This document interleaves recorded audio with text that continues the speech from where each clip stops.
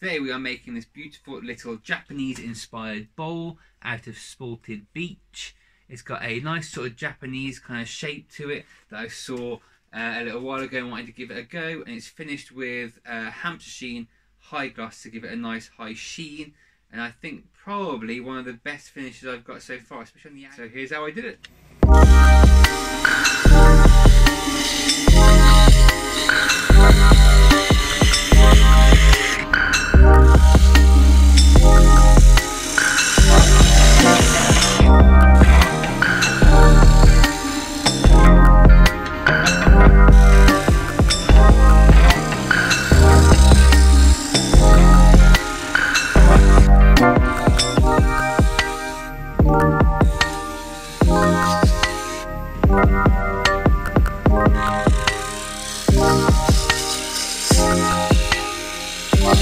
Bye.